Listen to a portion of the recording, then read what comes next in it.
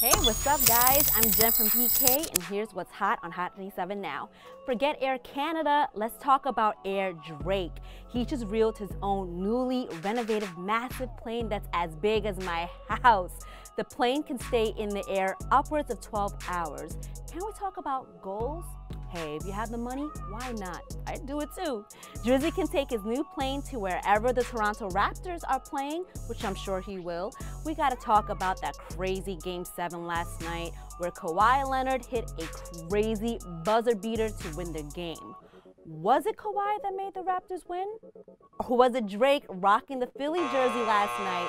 He posted this video to his IG story after the Raptors win. You know him and his infamous curses. If you don't, pretty much any team jersey Drake has worn, they've lost the game. So I see what you did there, Drake. That was smart. And I see what you did, Daenerys.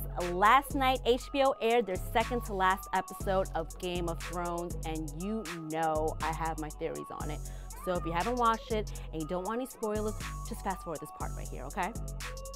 Dany did what I hoped she would. She brought Armageddon, fire, and fury to King's Landing. More beloved characters died, but what I was most upset about was how Cersei and Jaime went out. They could have went out a whole different way. Cersei should have been roasted alive in front of Dany, and Jaime should have died in battle, not in a pile of rubble. Now back to Dany bringing the apocalypse to Cersei and King's Landing. Some people were upset she went mad like her father, but come on guys, really, we should have expected this when her brother was killed. She didn't flinch. That witch in the pyre, she didn't flinch. She roasted the guys in Meereen, the Tarlys, and it goes on and on. Sis had it in her from the jump, and she's already lost half of her army. Her best friend, her advisor, two dragons. I mean, what do you expect her to do? Man, do you, Daenerys, do you. And finally, the big question everyone is asking, will she die in the final episode? Hmm. We see Arya staring at Dany in the trailer for the final episode, and Melisandre did tell her she would close blue eyes, brown eyes, and green eyes. Green eyes equals Dany. I don't know. To be honest, we already know what will happen, and that is Dany will not sit on that Iron Throne, not after what she did. Why? We were shown this in her vision when she was in the House of the Undying a couple of seasons ago.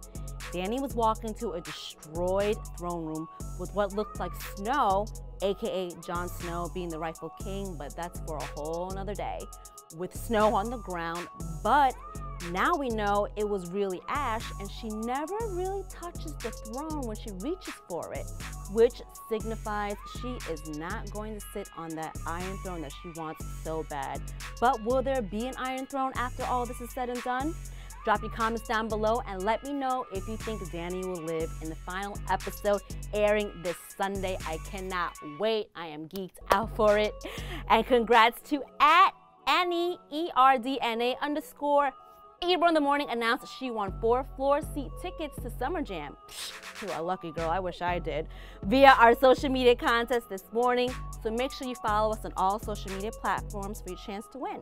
And if you want more Hot 97 Now, subscribe to us on YouTube or any social channel below. Plus, go to hot97.com for the latest news.